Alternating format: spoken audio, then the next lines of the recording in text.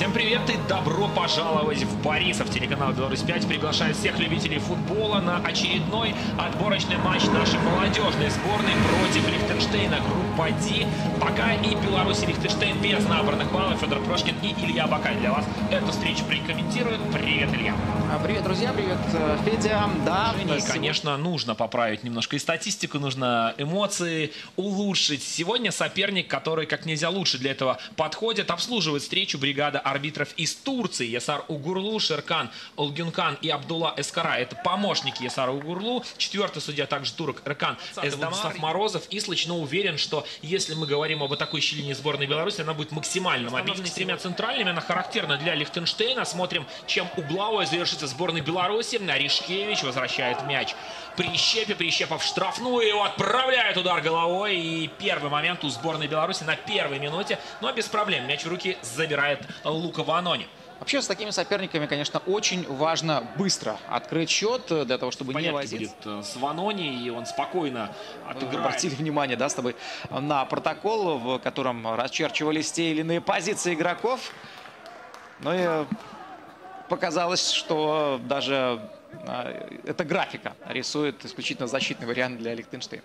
Ну, нестандартные действия от Морозова, который спиной к воротам находился, тем не менее нашел возможность для того, чтобы подставить голову, и это было довольно опасно. Ванони уже в отыгранном положении находился, тем более, кстати, голкипер не самый высокий у Лихтенштейна. Просто сумасшедшая разница в классе. Конечно, мы на бумаге сильнее. Конечно, у наших ребят больше опыта игры э, во взрослых лигах, со взрослыми командами, потому что большинство футболистов из Лихтенштейна выступают все-таки либо за дублирующие составы, говоря нашей терминологии, либо выступая во-вторых, в-третьих составах своих клубов, причем отнюдь не в ведущих лигах э, Швейцарии. Надежно нашего кипера, но не уложил мяч в створ.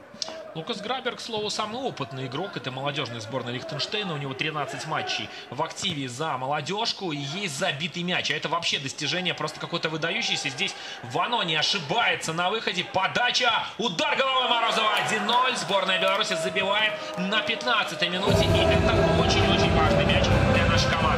Уложились белорусы в стартовые 15 минут, и я с тобой полностью согласен, потому что, в общем-то, это и моя мысль была в самом начале эфира забить Лихтенштейна, да вообще всем вот таким командам, которые очень большими силами обороняются, желательно побыстрее и далее развивать свой успех.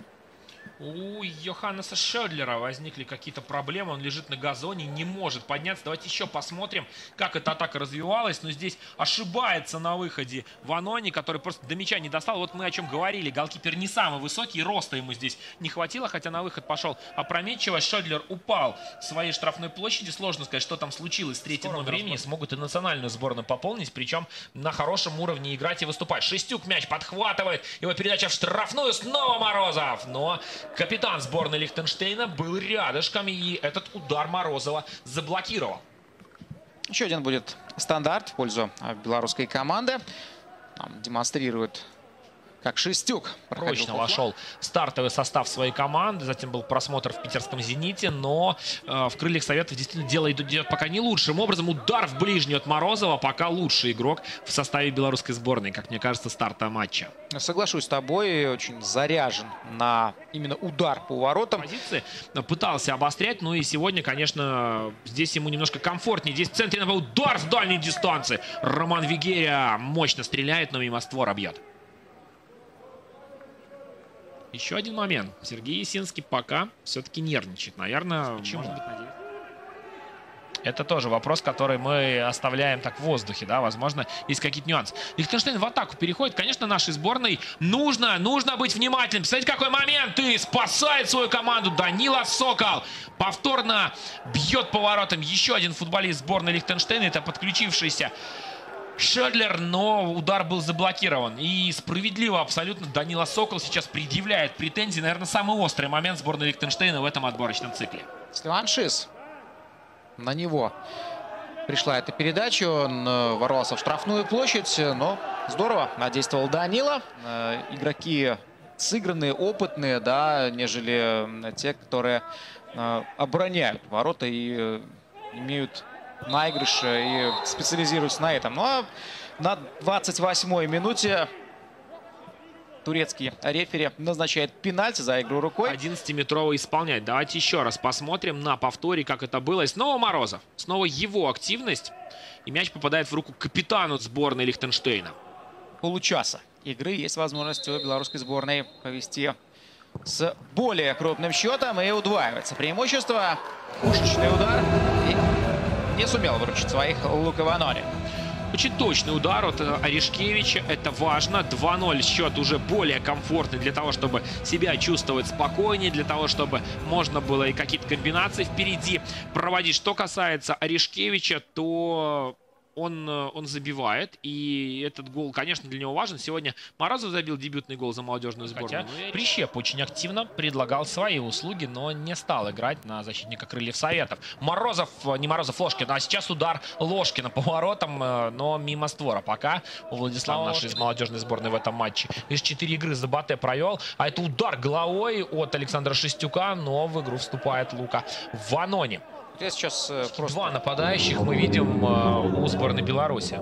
Здесь что-то уже похожее даже на систему 4-2-4 и ее вариации. Удар Шестюка, какой гол потрясающий! Александр делает счет 3-0.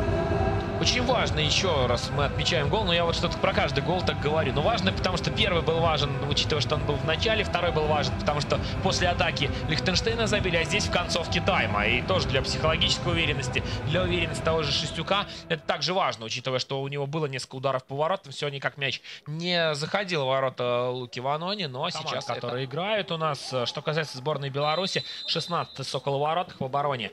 Э, три. Оборона игрока. очень и очень высокой сегодня является у сборной Беларуси. Я предлагаю следующую интригу нам на второй тайм.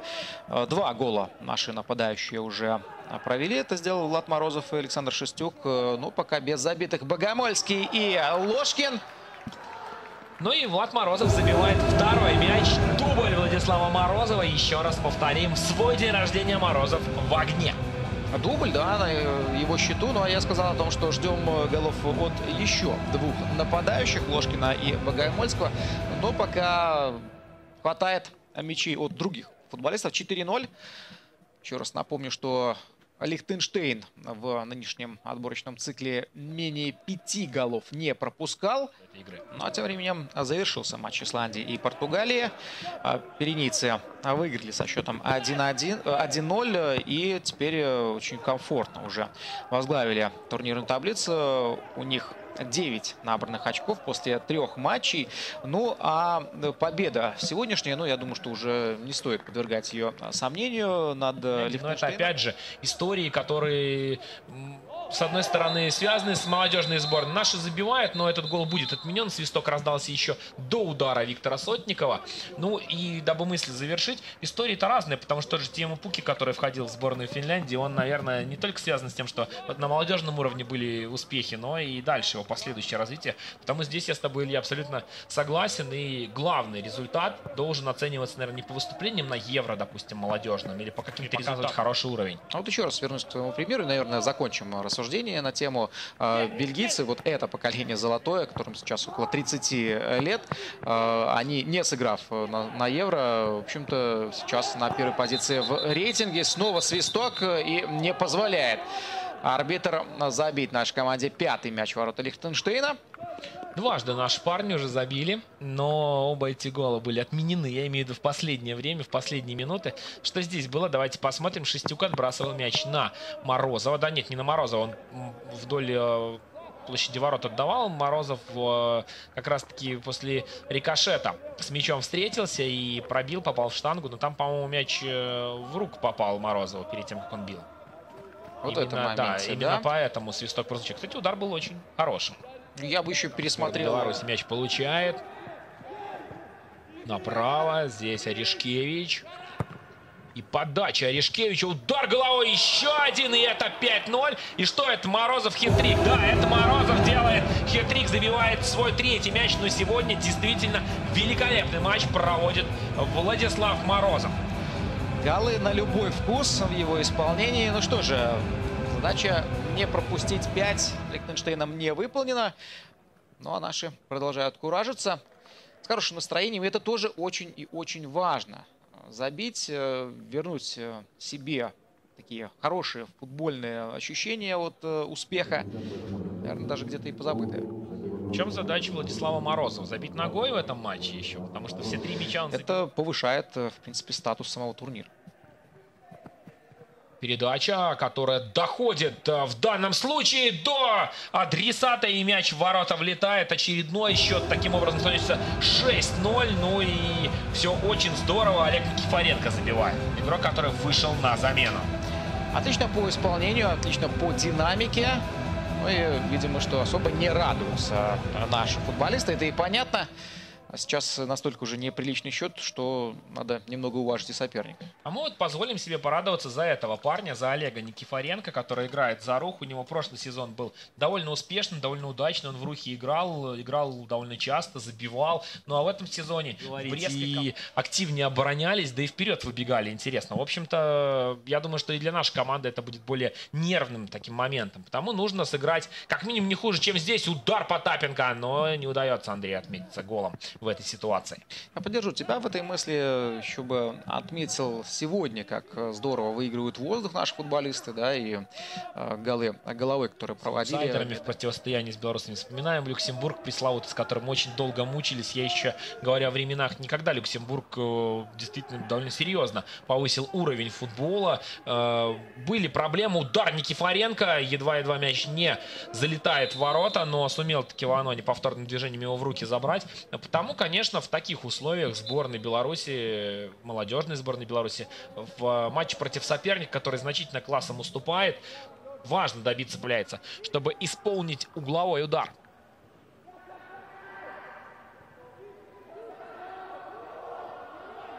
Через розыгрыш действуют белорусы. Девескиба. И удар с подбора от Рылыча выше створа и вообще довольно далеко от ворот. Неточный удар, но тем не менее атаку до удара довели уже хорошо. Уже за это мы сборную Беларуси можем похвалить. Как и в целом за игру сегодня. И все, звучит финальный свисток. Сборная Беларуси добивается первой победы в этом отборочном цикле над сборной Лихтенштейна. 6-0. Морозов на 15-й минуте счет в матче открыл. Затем Аришкевич на 28-й сделал счет 2-0, реализовав пенальти, заработанный Морозовым. Шестюк на 45-й минуте, ну даже 46-й, учитывая, что...